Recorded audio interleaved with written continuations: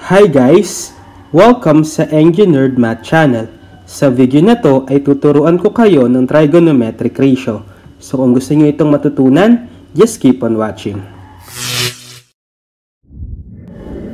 Okay, ngayon sa video na to ay pupunta na tayo sa trigonometry. So magsisimula tayo sa tinatawag nilang trigonometric ratios, which is yung mga kilalang trigonometric functions like sine theta, cosine theta, tan theta, secant theta, cosecant theta, and cotangent theta.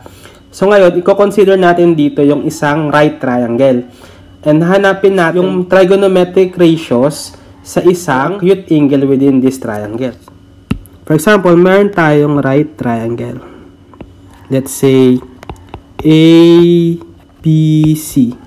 Okay? So ngayon, pwede nating pangalanan yung mga sides nitong right triangle ABC as small letter corresponding dun sa capital letter angles nila. For example, itong hypotenuse, uh, pwede natin siyang pangalan ng small letter C. Kasi yung opposite angle sa kanya ay yung capital letter C. Okay, so ganun magpangalan ng triangle kung ano yung angle niya na capital letter, dapat yung opposite side doon ay gamitin nyo rin ng small letter na corresponding dong sa letter na yon. So, dito naman sa angle B, pwedeng pangalanan yung opposite side sa angle B. Ito yon di ba? Let's say B, small b. Same as dun sa angle A. Yung opposite dun sa angle A, itong side BC or pangalanan natin na small letter A. So, alam niyo naman na yung concept ng triangle kasi meron akong video about triangles, right? So, particularly ditong right triangle na to. So, itong uh, C siya yung hypotenuse, itong uh, B tsaka A siya yung legs. Okay? Now, let's consider an acute angle within this triangle. Let's say this tri this angle. Angle theta. Okay? So, ngayon, hahanapin natin yung different trigonometric functions sa theta na to.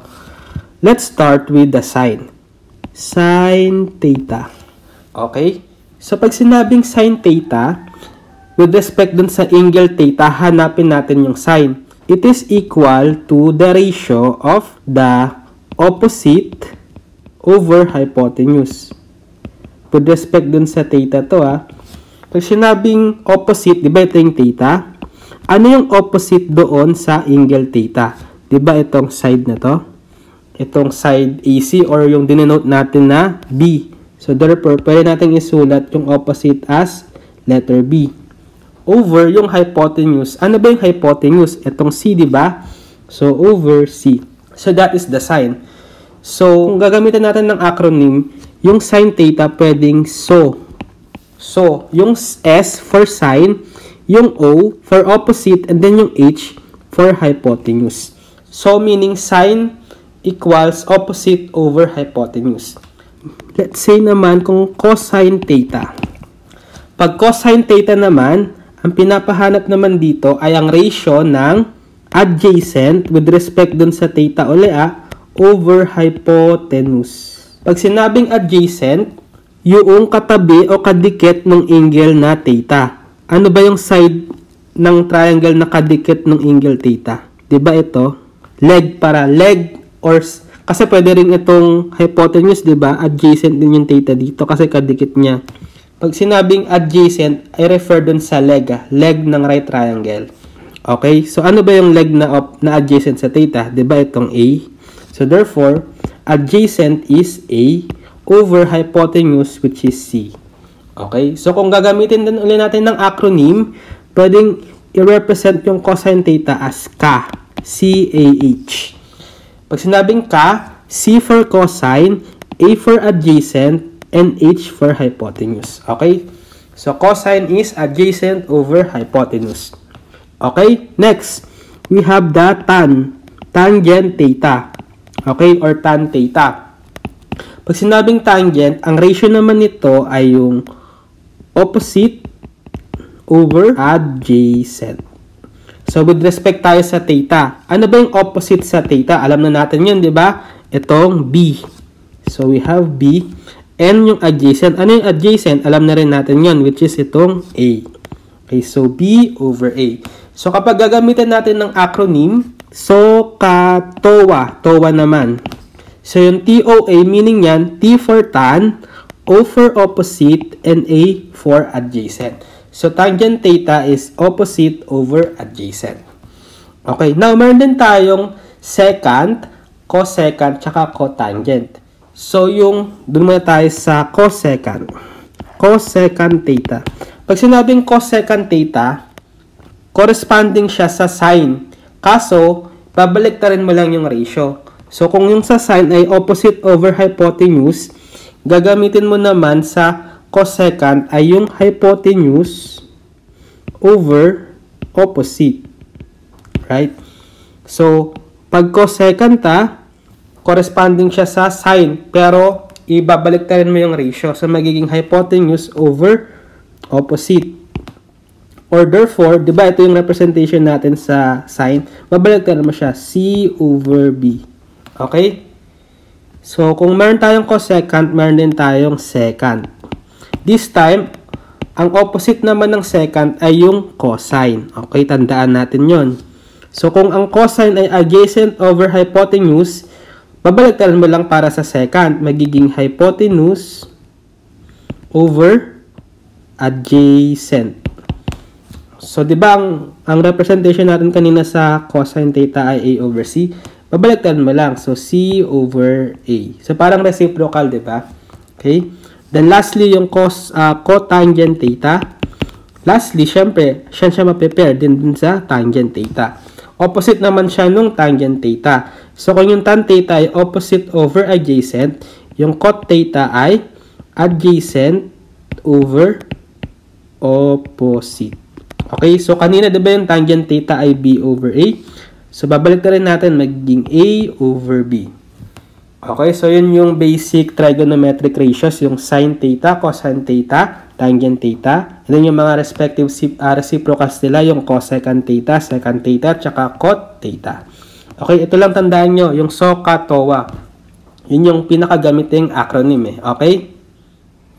Okay, as a summary, meron akong ginawang table. So basically, same lang din yon Same lang din sa diniscuss ko sa kanina.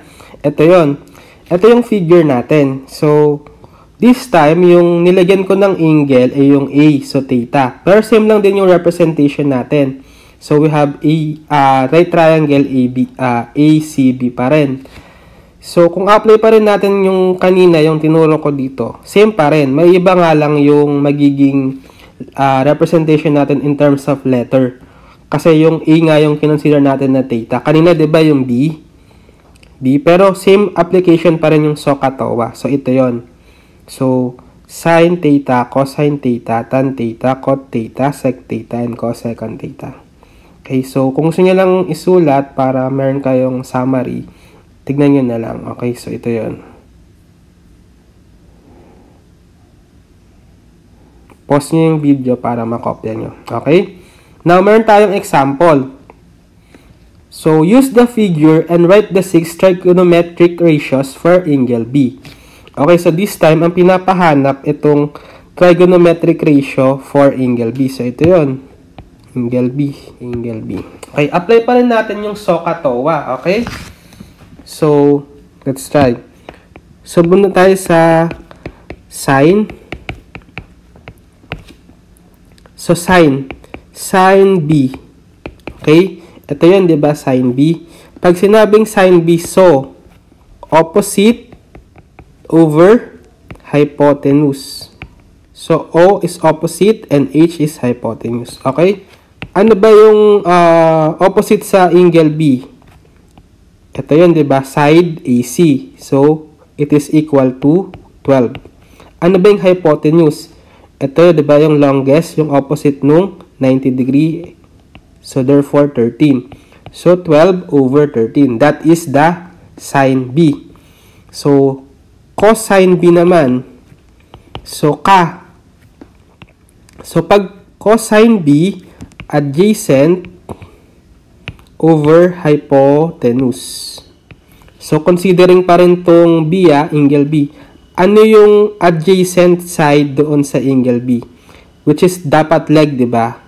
Ito yon yung 5. Kasi itong AB hypotenuse yan. So, dapat yung leg. Ito yon yung BC. So, therefore, adjacent is 5 over hypotenuse which is the same as 13 din. Okay? So, 5 over 13. Yan yung cosine B. Kapag tangent B, TOA. TOA. So, ibig sabihin, yung O, opposite. Yung A, adjacent.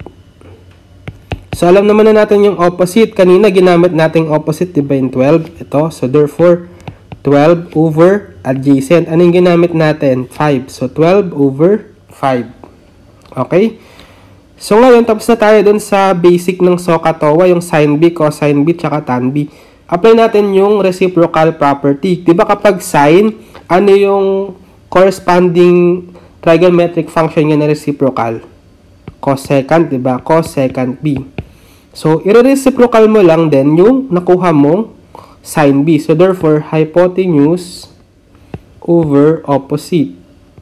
So, ano ba yun? Diba 13 yung hypotenuse and then 12 yung opposite. So, 13 over 12. And then cosine, diba second naman yon Second B, kabaliktaran naman ng cosine. So, magiging hypotenuse over adjacent. So, ano ba yung hypotenuse? 13 din, di ba? So, ito, 13, babaliktarin mo nga. So, magiging 13 over, and then yung adjacent, itong 5. So, over 5. 13 over 5. Okay? Then, what else? The cotangent B or cot B. This time, kabaliktaran ng tangent. So, magiging adjacent over opposite. Okay, so ano ba yung opposite? Ah, ano ba yung adjacent? Kanina, di ba, ito yon yung 5. So, 5 over opposite. Ano yung opposite? Ito yon yung 12. So, 12. Or baliktaran mo lang yung 12 over 5, magiging 5 over 12. Okay? Therefore, cot B is 5 over 12. Yun lang naman yung concept kapag cosecant, tsaka secant, tsaka cot. Babaliktaran mo lang yung ratio nung sin B, cos B, tsaka tan B.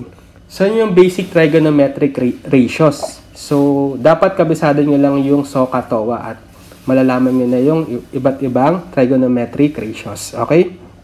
So sana ay may natutunan kayo sa video na to at maraming salamat sa panonood.